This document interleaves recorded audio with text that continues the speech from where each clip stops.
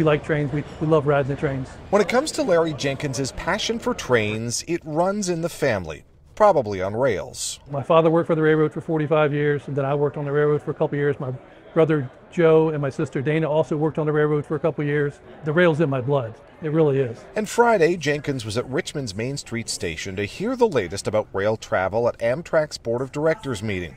Among the presentations, plans from the Virginia Passenger Rail Authority to expand passenger rail service in the Commonwealth as they say demand is at an all time high. What that shows us is that if we put the trains out there, people are going to take them. While Amtrak is contracted to operate the trains, Executive Director DJ Stadler says VPRA is creating the dedicated track space for them by buying up right of way and building strategic infrastructure and more tracks. The biggest challenge for passenger rail in America is the mixing of freight railroads that go about 35 miles an hour and passenger trains that want to go much faster than that. Stadler says a $4 billion project is underway to make those improvements between Richmond and Washington, D.C., including a major one to build a second train bridge just for passenger travel across the Potomac River. And at the end of the day, the long bridge crossing from Virginia into DC is the bottleneck for all rail traffic, freight and passenger from the north to the south.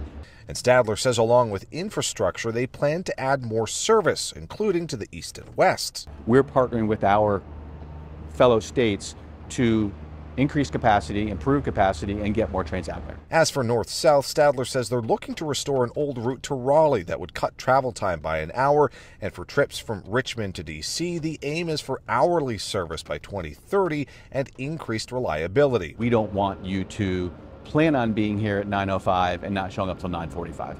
I like it because you just sit back and relax and let them do the work for you. For Jenkins, originally from Alexandria and considering a train trip back for a visit, it's welcome news as it's easily better than having to drive on 95. Especially on a Friday afternoon like today.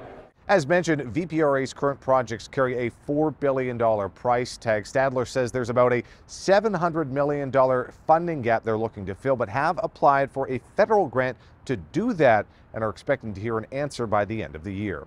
At Richmond's Main Street Station, Cameron Thompson, CBS 6 News.